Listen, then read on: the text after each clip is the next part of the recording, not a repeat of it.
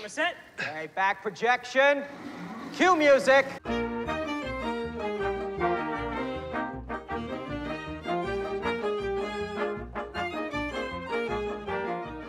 In 2018, a biographical comedy drama based on Laurel and Hardy's 1953 tour of the UK was released to theatres.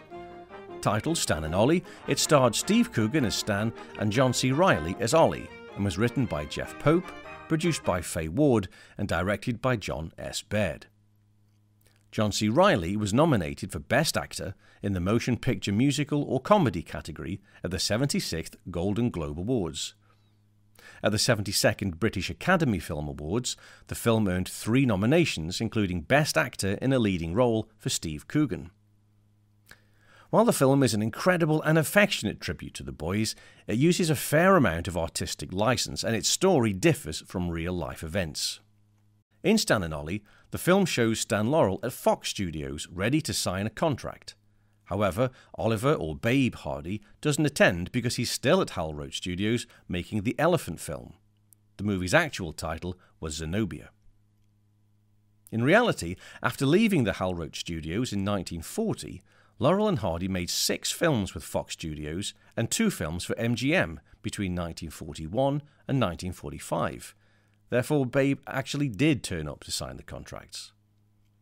Zenobia was made in 1938 when Stan's contract with Roach had terminated, and he was unwilling to sign a new contract with Roach until Hardy's had expired too.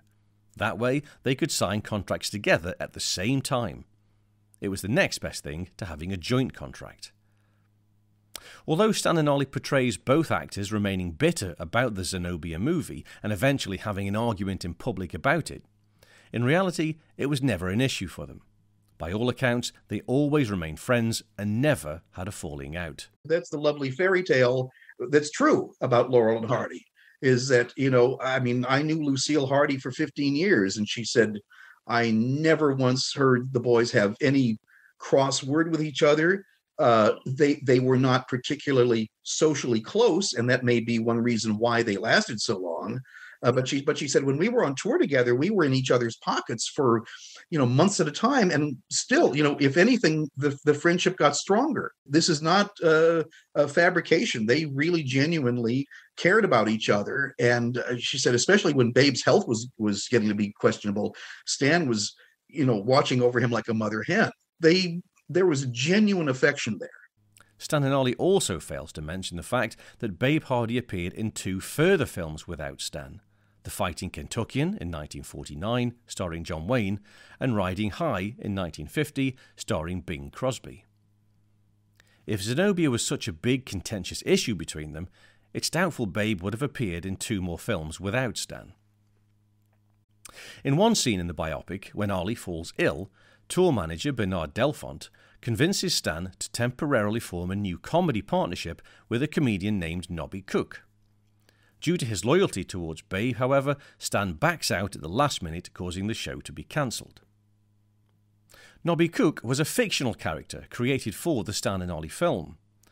There was never any attempt to form a new partnership. In reality, Babe suffered a mild heart attack in Plymouth in May 1954. He recovered at the Grand Hotel, and both comedians sailed back to the United States on June the 2nd. Babe Hardy sadly passed away in 1957.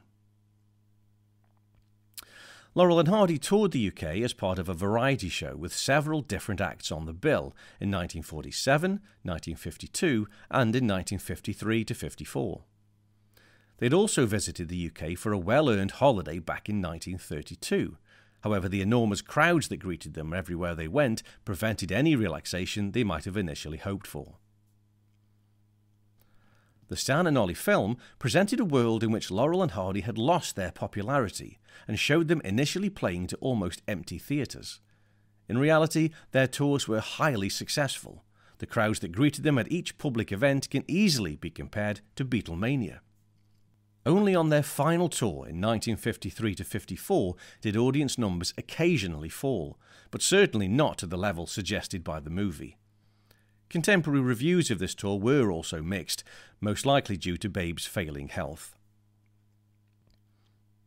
Laurel and Hardy's film producer, Hal Roach, was nothing like how he was depicted in the biopic.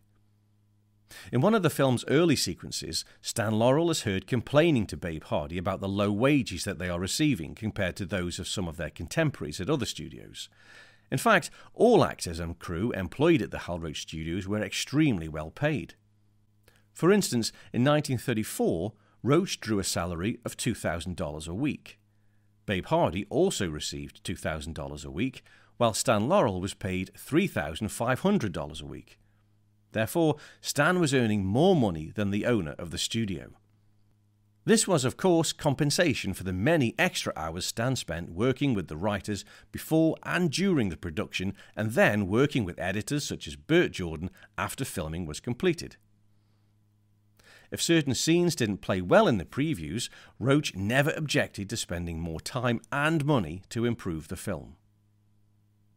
According to Laurel and Hardy film historian Randy Skretvedt, Roach actually lost money by making the three and four reel films because the agreement was for a set number of two reelers. On making the four reel Laurel and Hardy film Beau Hunks, Hal Roach told Skretvedt, quote, It was already sold as a two reeler. We couldn't get any more dough out of all the circuits because they'd already bought it. But it was just one of those things. It was intended to be a two reel comedy, but it kept getting funnier. Roach kept Laurel and Hardy on separate contracts that expired six months apart. This was to encourage them to stay at his studio. While some would say that this was a manipulative arrangement, it is understandable that Hal Roach wanted to keep the biggest comedy stars of the day at his studio especially considering the fact that his first major star, Harold Lloyd, left his studio in 1923 to produce his own films. In the Laurel and Hardy Encyclopedia, Glenn Mitchell writes, quote, Roach permitted his employees a mostly free hand with an agreeable environment. Most agree that there was no finer boss. Speaking about the studio, Roy Seawright, head of the optical effects department, said, quote, there's been no other studio to date like it. MGM, Fox, Universal, they were nothing but machines. The Roach lot was very individual, and the people there had talent with a wonderful sense of humour. The Roach studio was nicknamed the Lot of Fun because it was a comedy studio and it was a lot of fun. End quote. Film historian and author Richard W. Bann often quotes Patsy Kelly, who said, quote, Hal Roach was the best boss I ever had in the industry. I was practically ashamed to take the money. End quote. While Stan and Ollie is a fictional reimagining of the events and is indeed creative with the facts, it's undoubtedly an excellent tribute to the boys' work and legacy. Many skeptics have been astonished by the skilled performances of Steve Coogan and John C. Reilly, and most agree that they couldn't have chosen anyone better to play the parts. Quote, much of the time, you feel like you're beholding the real duo, so thoroughly conceived are the actors' physicality and performances. That was Todd McCarthy in The Hollywood Reporter. In addition, the costumes and set designs for the film are nothing short of phenomenal. The attention to detail in this area is to be commended.